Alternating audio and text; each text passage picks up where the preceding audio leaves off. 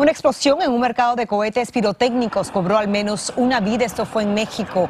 Varias personas resultaron lesionadas y numerosos puestos de venta fueron arrasados por este potente estallido que convirtió el lugar en un verdadero infierno.